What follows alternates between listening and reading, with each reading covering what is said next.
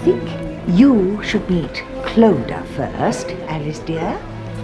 She's such a talker, so good with people. Clodagh, say hello to Mrs. Jordan. How do you do? Your mother, um, Margot, said you brought a terrifying muddle back from America. Mother's easily terrifying. Hi. I really came to say I'm sorry. I behaved like a pig last night. Charlie!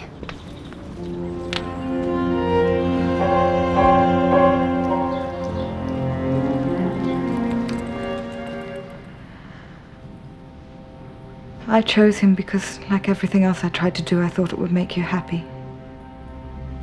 Do you know what I'm saying? Yes. Shall I stop?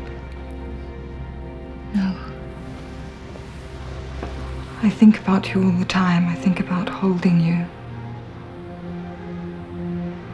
touching you. What do you feel, Alice?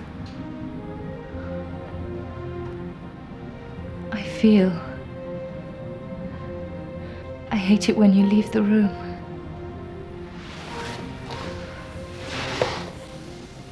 More.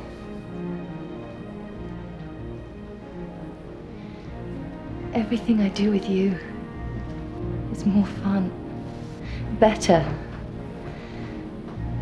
than anything I do with anyone else or by myself. I like myself better. I feel so happy. I feel so happy. I feel quite